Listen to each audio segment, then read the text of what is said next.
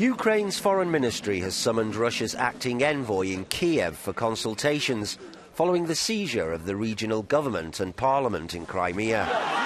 Around 120 heavily armed men stormed the buildings in Simferopol earlier.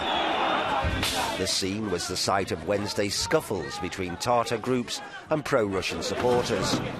Local Tatar leader Refat Chubarov posted that the buildings have been occupied by men in uniforms bearing no recognizable insignia.